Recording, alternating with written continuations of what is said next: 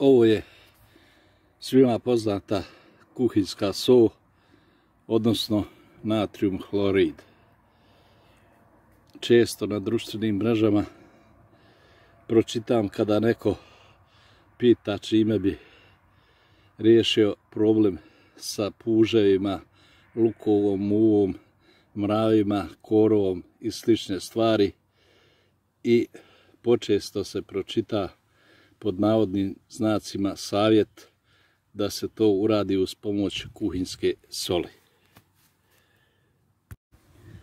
Upotreba kuhinske soli u bašti može biti višestruko štetna. Naime, upotrebom soli mi mijenjamo strukturu zemljišta, dolazi do njenog zbijanja, do povećanja kiselosti, do stvaranja pokorice i niz drugih problema. Ne tako rijetko ona se koristi kao preventiva protiv lukove muve u zasadima crnog ili ljubičastog luka. Međutim, ako se to baš i mora koristiti, tada treba koristiti rastvorenu kuhinsku sol.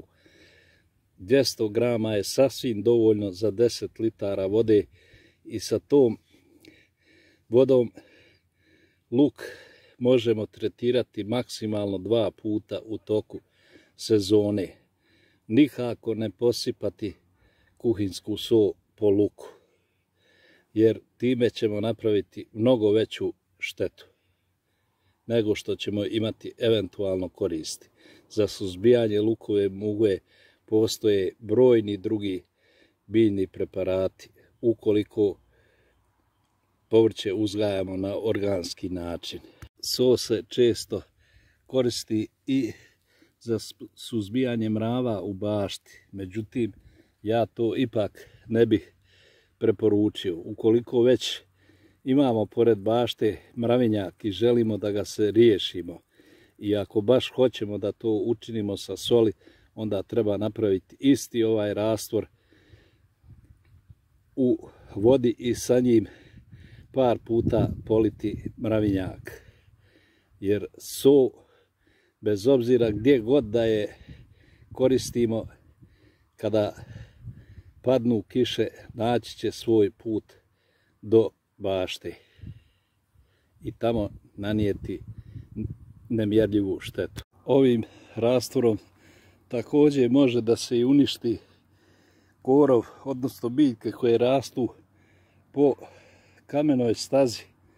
Ja imam ovu stazu koja je posuta šljunkom i ona ide kroz baštu, međutim, nipošto je ne bi polivao sa rastvorom soli, jer će so kako tako naći put do bašte. Radije se malo namučiti i počupati korov ukoliko baš smeta. Dakle, bar što se mene tiče, so u bašti može se koristiti jedino ukoliko kada duže nešto radimo u bašti, poželimo da pojedemo svjež paradajz ili svjež krastavac, a u drugim slučajevima nikako i ni pošto.